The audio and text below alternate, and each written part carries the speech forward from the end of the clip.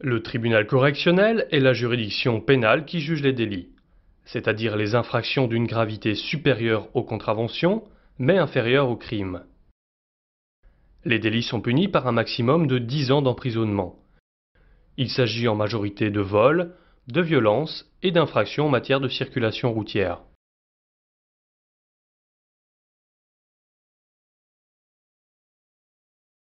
Composé d'un président et deux assesseurs, le tribunal correctionnel est collégial.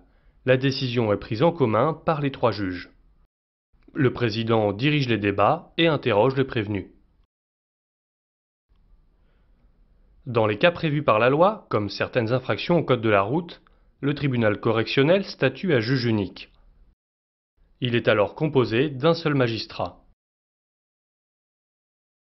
À l'audience, le procureur de la République ou son substitut défend les intérêts de la société. Il peut interroger le prévenu et les témoins. Par ses réquisitions, il indique au tribunal la peine qui lui paraît la plus adaptée. Le greffier a préparé l'audience. Il note le déroulement des débats, les déclarations du prévenu et des témoins. Il met en forme et authentifie le jugement. L'huissier audiencier appelle les affaires et maintient l'ordre dans la salle d'audience sous l'autorité du président.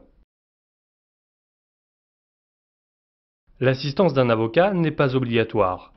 Si la personne jugée, que l'on appelle le prévenu, souhaite en avoir un mais n'en connaît aucun, un avocat commis d'office est désigné pour l'assister. L'avocat défend les intérêts de son client devant le tribunal. Pour faire valoir ses droits pendant le procès et demander des dommages et intérêts, la victime doit se constituer partie civile. Elle peut être assistée d'un avocat.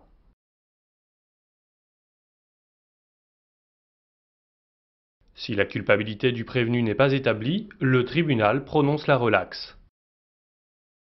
S'il est reconnu coupable, le tribunal correctionnel peut prononcer des peines d'emprisonnement, des amendes et d'autres sanctions, comme le travail d'intérêt général ou encore le stage de citoyenneté. S'ils ne sont pas d'accord avec le jugement rendu, seul le prévenu et le ministère public peuvent faire appel pendant dix jours. Pour les dommages et intérêts, cette possibilité est donnée à la partie civile et au prévenu.